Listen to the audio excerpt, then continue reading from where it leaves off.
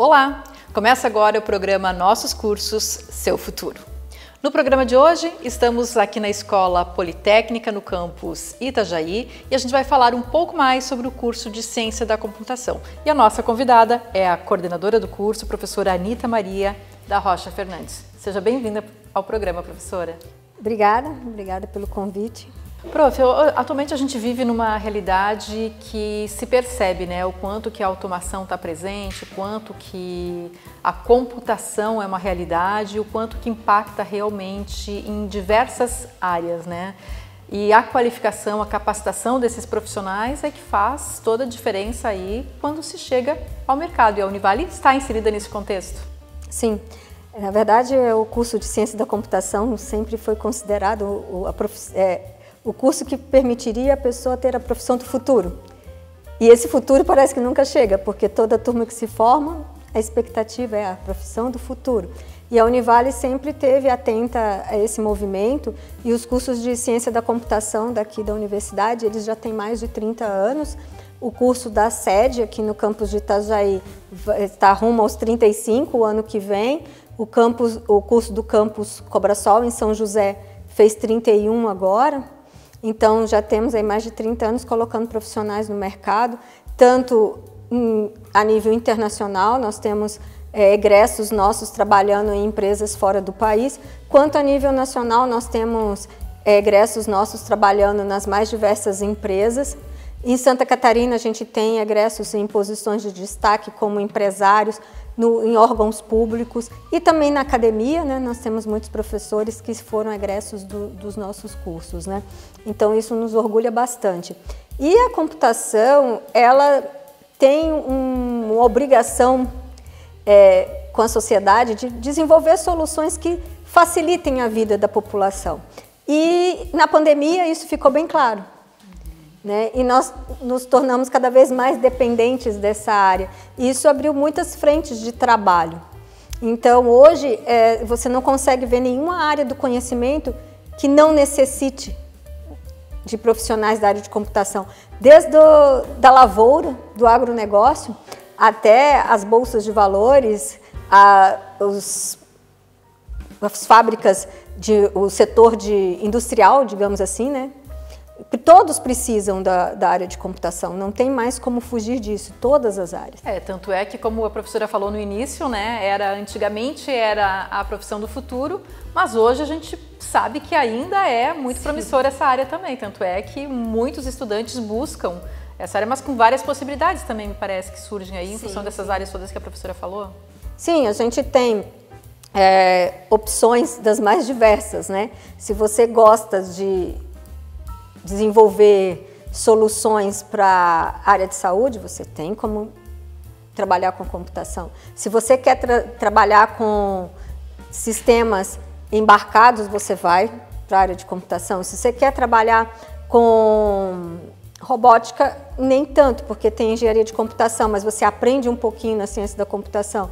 Você quer trabalhar com inteligência artificial, você tem uma gama de possibilidades dentro da computação. Você quer desenvolver softwares de maneira geral, tanto para aplicativos para celulares quanto aplicativos para web, você vai para a ciência da computação. A professora mencionou, né, engenharia da computação, e a gente está falando aqui de ciência da computação. O que, que especificamente o aluno que faz vem buscar, né, fazer ciência da computação, vai trabalhar, vai desenvolver? Qual que é a área específica Bom, de atuação? A gente costuma dizer que a ciência da computação o foco maior dela é o desenvolvimento dos softwares. E a engenharia de computação seria mais a parte do hardware. A gente tenta, a grosso modo, separar assim. São cursos irmãos, mas cada um com suas especificidades. Né? Então, a ciência da computação, a gente aprofunda mais as questões de engenharia de software, banco de dados. E na engenharia de computação, a gente trabalha mais com a parte de embarcados, de microeletrônica, né? Com, a, com essas questões. Então, assim, é, são cursos irmãos, mas diferentes um pouco. Né? E qual que é o perfil do aluno que vem fazer ciência da computação? Tem que ter alguma habilidade específica? O, a pessoa que vem fazer ciência da computação, a primeira coisa que ele tem que ter é curiosidade. Curiosidade. Buscar resolver os problemas também Buscar olhar ao seu redor e ver como ele pode solucionar problemas de uma maneira geral. Para a sociedade. Por quê? Porque nós temos aqueles alunos que eles vão trabalhar com desenvolvimento de, de sistemas específicos para determinadas áreas. Então, se ele tem essa curiosidade de olhar ao seu redor e enxergar ali um potencial nicho de mercado, ele vai, poxa, eu gosto de jogos, mas eu não sou designer, não sou ilustrador, não sou roteirista, mas eu sei programar, eu gosto de programar. Então eu posso estar tá me associando a esse pessoal e eu desenvolvendo a programação. Ah, eu gosto de trabalhar com realidade virtual, com computação gráfica. Então você tem esse caminho, você tem que ter curiosidade de buscar soluções naquilo que você gosta. E como é que o curso é estruturado na Univale? Né? A gente sabe que tem, tanto aqui em Itajaí quanto em Cobra Sol, é, o contato que tem com o mercado profissional também, os estágios, aulas teóricas, práticas, laboratórios. Então, é? o curso é de cinco anos. Né? A Univale tem uma grande inserção no mercado. Uh, os dois cursos de computação são cursos que têm contato direto com as empresas, né? Então, nós podemos dizer que a gente tem um, um egresso nosso, ou como diretor, ou como dono de alguma empresa, ou nós temos alunos nossos fazendo estágio ou trabalhando nas, nas principais empresas da área, aqui na, tanto na região de Itajaí quanto na região de Florianópolis. Então, o contato com o mercado de trabalho é bem tranquilo. A partir do, do quinto período em diante, praticamente todo mundo está empregado.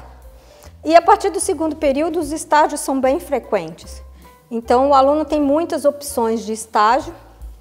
Tem também opções de trabalhar em projetos de pesquisa junto com os professores ou de prestação de serviço junto com os professores, né, para ir desenvolvendo algumas habilidades. Né. Em função dessa necessidade de qualificação, né, tem alguma área mais específica que exige uma especialidade muito mais é, assertiva em alguma especificidade, alguma coisa assim, que Não, tem uma, uma exigência maior ou que tem uma área é promissora também? Não, acho que todas as áreas são promissoras dentro da computação, porque assim, existem aquelas áreas que estão na mídia o tempo todo e que já têm, é, digamos assim, que chama a atenção das pessoas, mas tem aquelas áreas que não são muito, digamos assim, divulgadas, mas que tem um nicho de mercado bem grande. Então, assim, todas as áreas da computação hoje você tem como é, se estabelecer enquanto profissional. E principalmente quando ele for curioso também, né? Como a professora Sim. falou, que ele vai perceber possíveis necessidades para melhorar a vida da sociedade. Por exemplo, vamos pensar da seguinte forma: todo mundo fala hoje em inteligência artificial, é a área que eu dou aula.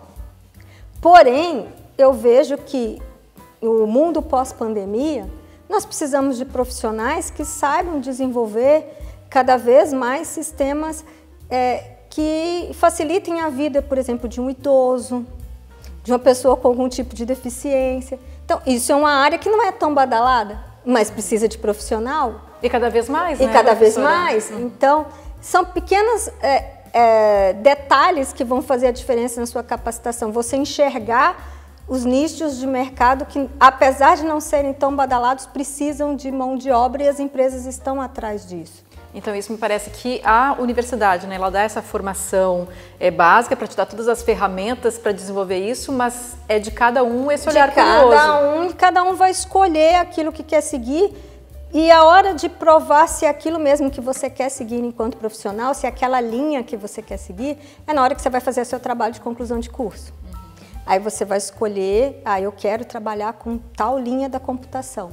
E ali você vai pôr em prática seus conhecimentos e ver realmente é isso aqui que eu quero para mim. E dentro dos trabalhos de conclusão de curso, existem uh, alguns que chamam atenção pelas propostas inovadoras que eles trazem? Olha, existem trabalhos inovadores, sim.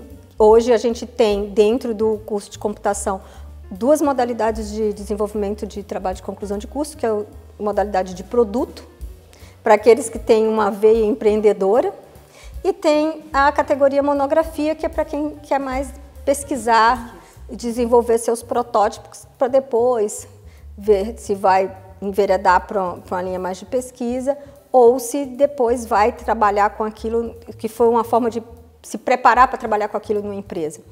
Mas muitos trabalhos podem ser bem inovadores dentro dessa categoria produto. Então, o aluno ele não vai fazer um TCC somente para a academia, ele pode usar aquilo, aquele momento do TCC para criar um embrião para um futuro produto que ele possa usar no mercado, ser um portfólio para ele. Isso é muito bacana, né? Professora, muito obrigada pela sua participação, pela sua contribuição aqui no nosso programa. Eu que agradeço. O programa Nossos Cursos Seu Futuro de hoje termina aqui. Até o próximo.